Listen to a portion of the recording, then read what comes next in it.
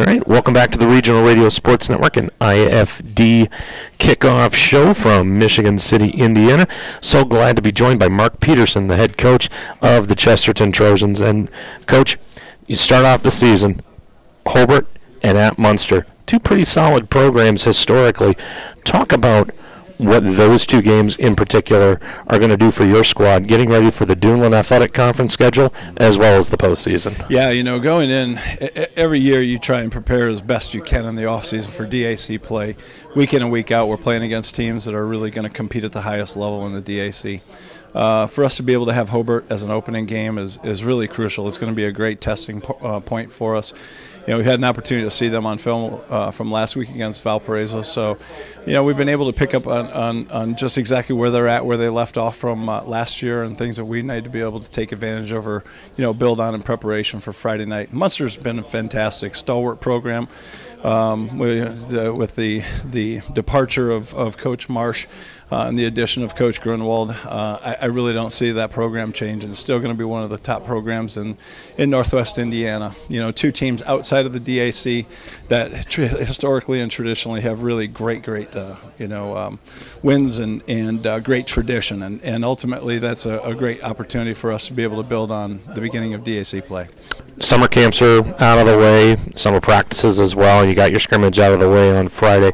What are some of the things that have really stuck out both player-wise and some of the surprises that you've seen this season? Yeah, you know, I think uh, offensively at our offensive line position, we've had a couple of kids that have uh, been solid uh, players for us. Riley Walogo and AJ Wagaman, uh, realistically, four-year starters as freshmen. They started in seven games. Uh, have have really come into their own uh, in in this season. Uh, Charlie Bernth has done a fantastic job for us at the other position, at the left tackle position. Really, just an athletic individual. Um, you know, offensively, we've we've established our starting quarterback as Corey Bourne. Uh, saw some time last year. Unfortunately, got injured in the scrimmage against Griffith and and uh, missed out on seven games. Came in and played in the last three. Uh, saw a lot of time as a sophomore. And is going to be our, our signal caller on Friday night against Hobart, but.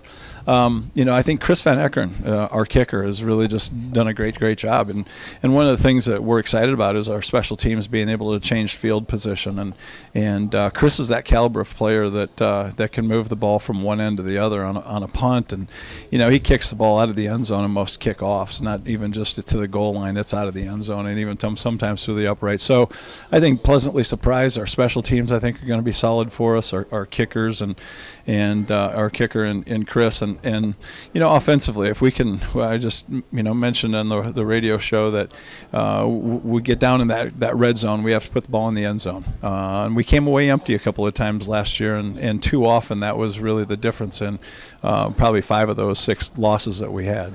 All right, if you put it all together, the offense, the defense, and the special teams, what will it take for the Chesterton Trojans to have a really successful season this year? Uh, really, you go back to the old adage, uh, we, we have to stay healthy. We have a great nucleus, wonderful kids. Our, our senior class is really uh, a great group of young men, um, really good football players. And our junior class is, is very similar. We have a smaller number of those individuals. So when we start to really move beyond those juniors and seniors as full time players, uh, we have a wonderful nucleus of sophomores, but they're young kids.